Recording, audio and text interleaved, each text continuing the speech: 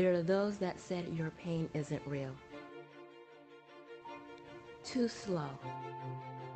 Too hard. Too soft. Too old. Too limited. To them, we say too bad. Everyone deserves good and clean CBD.